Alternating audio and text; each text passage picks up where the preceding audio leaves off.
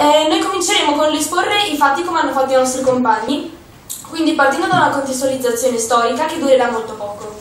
E, um, eh, e uh, procederemo uh, parlando anche della zona industriale, di come si è evoluta, di come si sono evolute le, eh, gli insediamenti di Marghera e di Mestre, guardando le cartine e la rielaborazione che abbiamo fatto in laboratorio e finiremo eh, esponendo dei nostri progetti molto ingenui in quanto noi non siamo qualificati per fare dei, degli elaborati del genere, però ci piaceva l'idea e l'abbiamo fatto lo stesso, eh, circa una possibile riqualificazione delle zone eh, appunto dismesse della, eh, della zona industriale. Sì, è questo. Sì, è questo.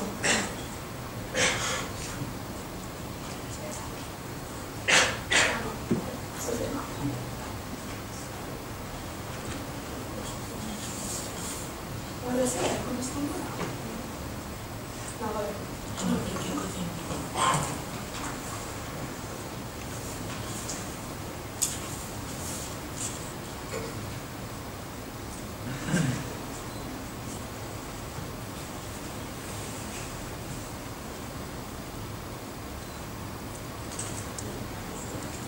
Sono in ordine le slide. Secondo me.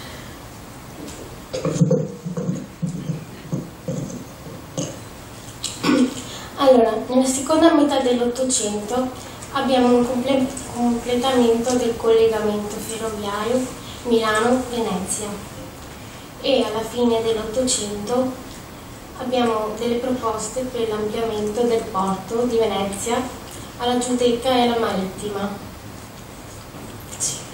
Poi nel, tra il 1902 e il 1904 il progetto di Petit per il nuovo porto commerciale di terraferma consente a Venezia di competere con gli altri porti del Mediterraneo.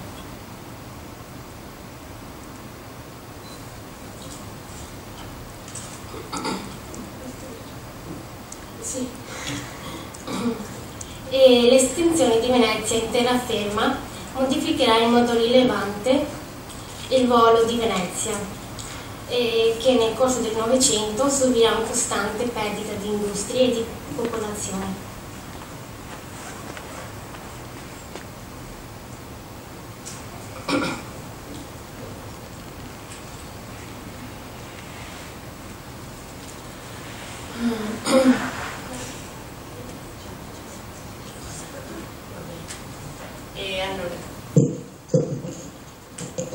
Nel 1917 il, ehm, l'ingegnere Coencagli, mi dico, si, mm, si occupa di, mm, cioè, di proporre ehm, diciamo, un progetto per, per organizzare l'area delle balene. E la sua proposta eh, prevede un la costruzione di un porto commerciale affiancato comunque da eh, un quartiere residenziale e che comunque mh, la sua funzione doveva essere quella di eh, ospitare i lavoratori veneziani anche per comunque ovviare al problema della sovrappopolazione del centro storico che non riusciva più a contenere tutti eh, cioè, la crescita del- dell'industria nel centro. E nel 1919, come dirò tra poco, l'ingegnere Pietro Emilio Emmer si occupa della realizzazione di un sobborgo cittadino, ovvero lui propone un modello di città giardino ehm, che appunto doveva ospitare eh, tutti, tutti gli operai. E come dire tra poco e dal 22 inizia la costruzione della città giardino però comunque il, ehm, eh, il ehm, Venezia smette di finanziare ehm, le costruzioni e quindi il progetto andrà in fumo. Pietro Emilio Emmer ehm, si, occupa, si occupa del quartiere residenziale si occupa del quartiere residenziale e si ispira al modello della città giardino che aveva già ehm, messo in pratica l'ingegnere inglese eh, Pietro eh, sì, Howard. Questo modello di città giardino prevede delle, ca delle case salubri accoglienti perché eh, la funzione delle, delle, abitazioni doveva essere strettamente legata al duro lavoro che dovevano affrontare gli operai eh, che andavano nel centro storico eh, a lavorare in condizioni comunque molto disagevoli. Eh, era un progetto abbastanza ambizioso perché prevede l'altezza di massimo tre piani di ogni costruzione e tutte le costruzioni dovevano distanziarsi almeno di 15 metri. Inoltre comunque mm, eh, l'orto, il giardino privato di ogni casa doveva essere almeno quattro volte maggiore dell'estensione de, dell'edificio. Le strade invece che lui propone, ehm, diciamo si era un reticolo di strade collegato a un lungo viale alberato.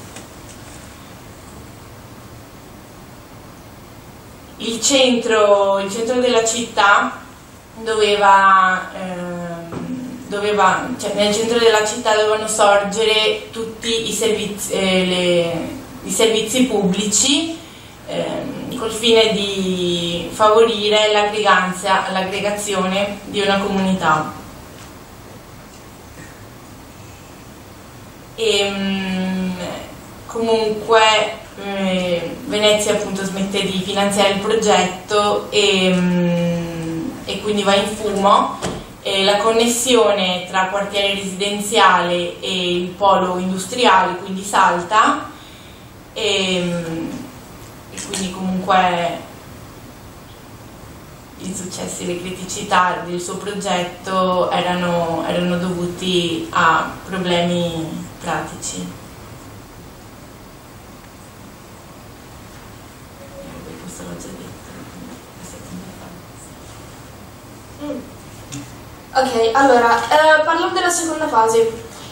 Eh, vi sono due date, ne abbiamo scritto una sola. Nel 1953 il progetto di ampliamento della zona industriale venne ampliato eh, fino a Fusina, cercando di connettere queste zone ehm, sia via terra che via mare.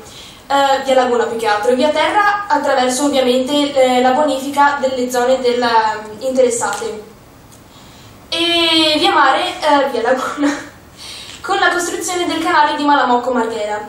La seconda data è il 1958, nella quale il consorzio iniziò eh, la realizzazione dei lavori per questa zona, però le aree erano l'80% di proprietà della Monte Edison, eh, al tempo chiamata Monte Catini Edison, eh, che, prende, eh, che, instaurerà qui eh, un polo uh,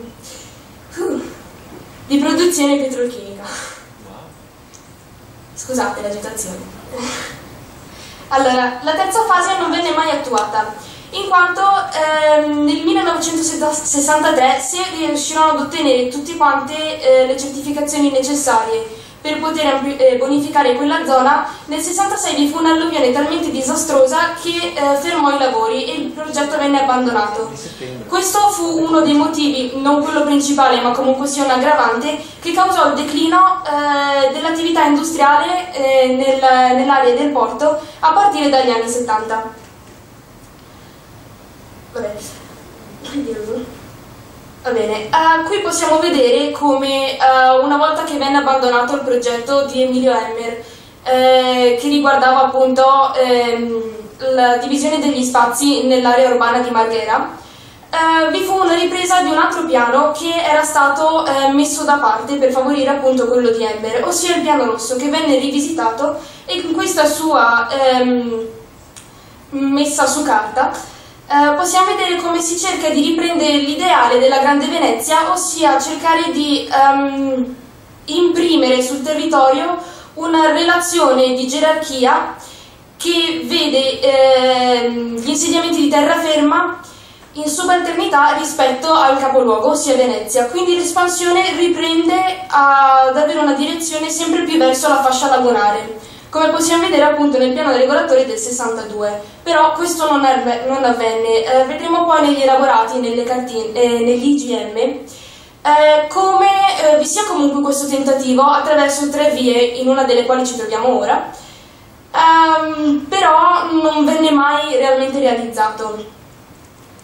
Eh, volevo dire in questa, eh, in questa slide che nonostante le condizioni di lavoro fossero veramente critiche, in quanto non si era bene a conoscenza di tutti gli effetti malsani e negativi che mh, delle sostanze utilizzate potessero avere sia sulle persone che sul territorio, come l'amianto ad esempio, eh, I posti di lavoro erano eh, veramente molti, le condizioni degli abitanti migliorarono e mh, mm, sebbene attualmente il territorio sia presenti una grande cicatrice lasciata dalle aree del porto, um, comunque sia uh, questo periodo rappresentò un periodo di enorme espansione economica e anche ovviamente uh, territoriale per le zone di cui stiamo parlando. Le soluzioni successive furono appunto quelle del piano rosso che venne ripreso, si cercò appunto, come vedete qui, di espandere di nuovo la zona verso la fascia lagunare, però come dicevamo eh, il tutto non, andrò, non andò oltre eh, la costruzione di queste tre strade che sono via Forte Marghera, via San Marco e appunto via Torino. Qui appunto parleremo delle, eh, della successione dell'espansione del territorio rispetto al lavoro che abbiamo fatto durante i laboratori con la professoressa Mazzoleni. Eh, partiamo da un po' di terminologia. Allora, eh, possiamo parlare inizialmente di elementi, elementi, generatori, distinguibili naturali ed artificiali.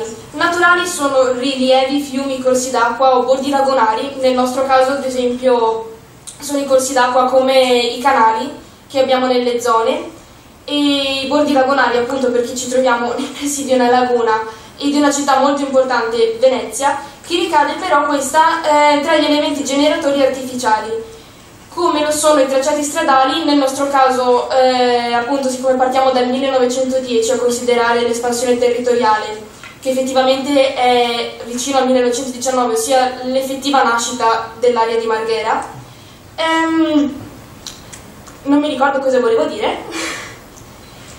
Eh, sì, giusto, parliamo di ferrovie. E gli elementi ordinatori sono invece quelli che dividono le varie aree. In questo caso parliamo di nuovo della ferrovia in quanto è un elemento che divide sia eh, la zona industriale dal quartiere abitato, sia le due città, Marghera e Mestre. Per fare un esempio più pratico, se tu vuoi fare dei centri commerciali, di sicuro non li metti da due parti diverse della ferrovia, li metterai dalla stessa parte, per una questione logistica. E questo è, diciamo, molto basilarmente che cosa è un elemento ordinatore. Allora, eh, partiamo dalla cartina del 1910, dall'elaborato che abbiamo fatto noi. Eh, una, una, piccola puntualizzazione, qui c'è il forte, Forte Marghera, che non viene sempre eh, riportato negli IGM. Naturalmente non è che sparisca e ricompaia all'improvviso, è che per scopi militari veniva occultato.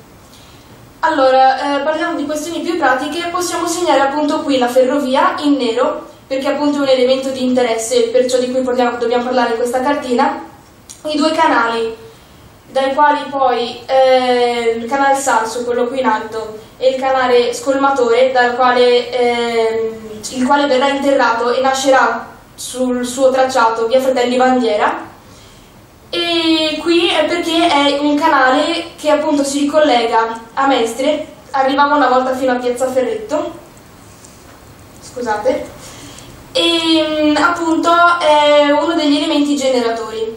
Possiamo notare anche le aree dei magazzini generali più in rosso, appunto è anche scritto nella leggenda eh, che sono le aree in cui si svilupperà la zona in cui ci troviamo attualmente, ossia quella di Via Torino. E le strutture eh, specializzate, appunto, se notiamo, sono tutti magazzini, negozi, e comunque stru eh, strutture molto importanti sia da un punto di vista della, della funzione che anche eh, della grandezza fisica, diciamo. Poi possiamo notare come inizialmente fossero le zone appunto della prima e della seconda zona industriale, ossia eh, naturalmente non bonificate, comunque sia piene di canali e le aree limitrofe erano utilizzate per l'agricoltura. Ah, questo è il 1910. Nel 1927 invece vorrei sottolineare eh, come il tracciato della ferrovia si stia espandendo nella zona industriale che appunto aveva iniziato ad essere costruita. Vi sono primi, le prime strutture ehm, e soprattutto in questa cartina vogliamo far notare come ci sia una differenza tra l'area di Mestre e quella di Marghera. Quella di Mestre si presenta come disordinata, spontanea diciamo, perché eh, appunto essendo nata senza un piano regolatore che eh, decidesse la gerarchia degli spazi, um, scusate, uh, le strade, uh, le case più che altro, gli edifici nascevano in maniera spontanea, dove serviva che ci fosse un edificio, dove c'era lo spazio, veniva costruito. Marghera invece grazie al piano di Emmer ha una struttura più ordinata, più gerarchica.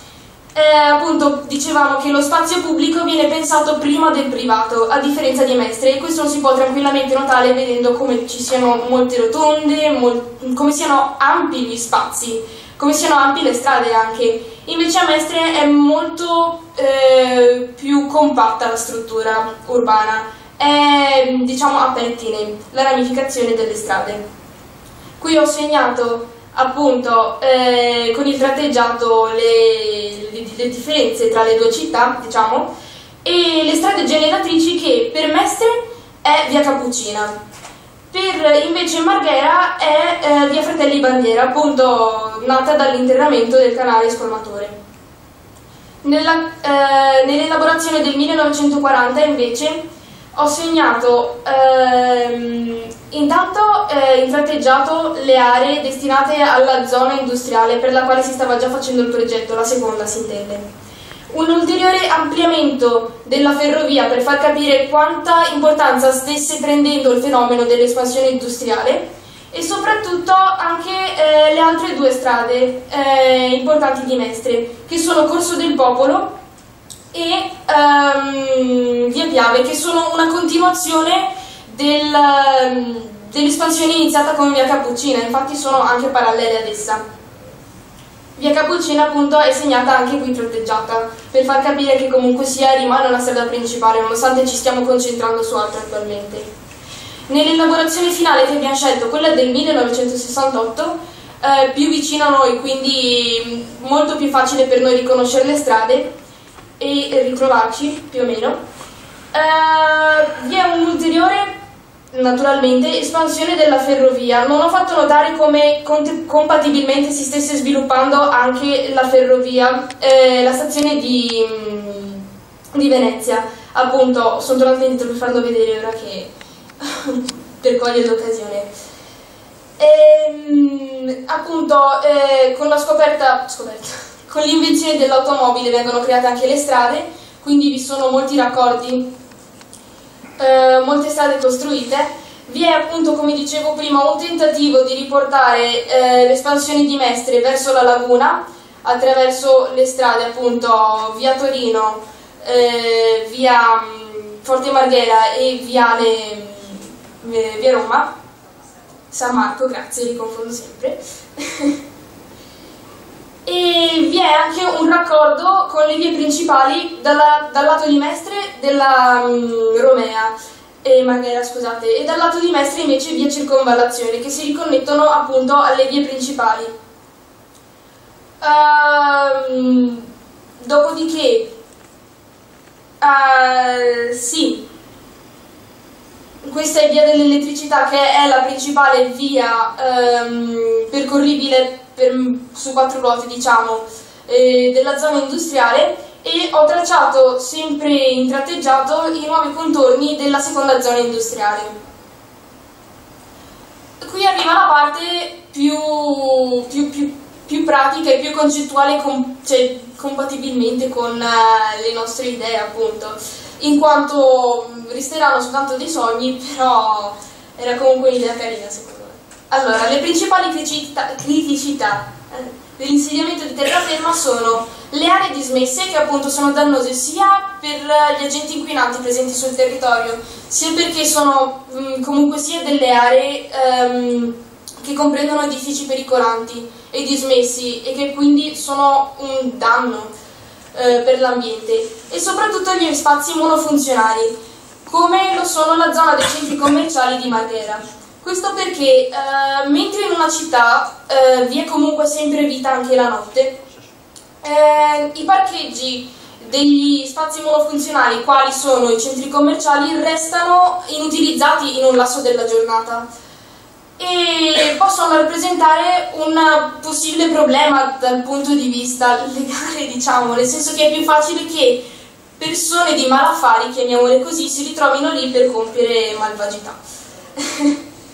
allora, le iniziative già presenti sul territorio sono il Parco Scientifico Vega principalmente e appunto come dicevano i nostri compagni prima anche un secondo progetto sempre relativo al Vega di eh, riutilizzo delle aree dismesse di bonifica e um, appunto eh, sì, di, di utilizzo delle spazi, delle, degli edifici già presenti.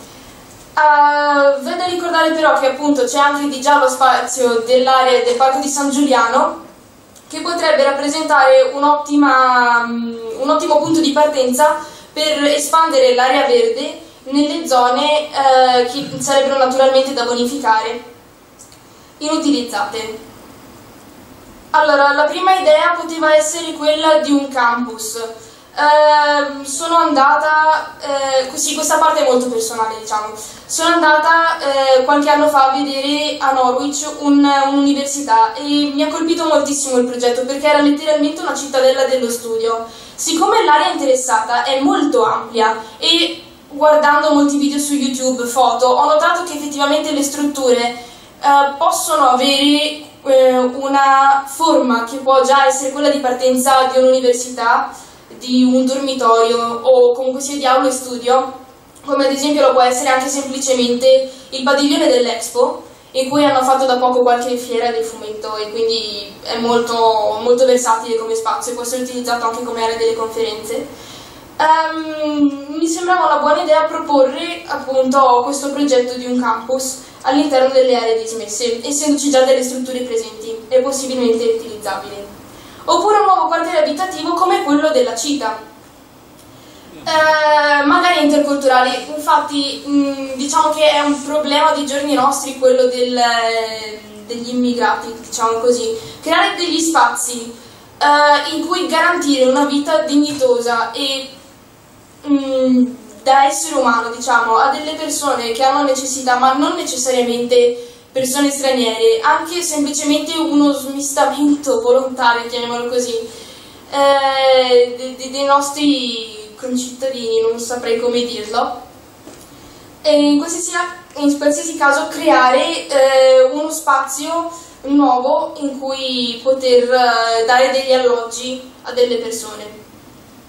Il Promore vede appunto una continuazione del progetto di Parco San Giuliano e magari questo c'è un asterisco perché questo potrebbe essere integrato essendo l'area veramente vasta ehm, con eh, gli altri progetti in quanto nulla ci impedisce di mettere un parco all'interno di una città o di un campus. I problemi dei vari progetti sono, siccome non mi ricordo mai quali sono i progetti in totale, devo tornare indietro, per il campus sia i fondi, perché servono molti soldi per poter comprare le attrezzature, eh, burocrazia, quindi poter acquistare le aree, ehm, anche semplicemente bonificare il territorio, la messa in sicurezza. E quindi servirebbe un finanziatore e comunque sia, eh, c'è comunque sempre questo problema della bonifica. Una possibile soluzione potrebbe essere quella di una partnership con eh, un, uh, un ente esterno, eh, come potrebbe essere un'università di un altro paese, o comunque sia qualcosa del genere, diciamo. Per il nuovo quartiere abitativo potrebbero esserci resistenze politiche all'interno della, della regione, diciamo così, e questo potrebbe essere appunto il problema principale per il quartiere abitativo interculturale. E per il polmone verde sarebbe che andremo a ricreare nuovamente un'altra area monofunzionale che però non è così grave, com, tra virgolette grave, come lo potrebbe essere il parcheggio di un eh, centro commerciale, in quanto eh, bene o male in uno spazio verde accessibile naturalmente ad ogni ora del giorno eh, vi sarebbe comunque una vita, specialmente se lo si mette in centro città. E tutto sommato questo era il nostro progetto finale.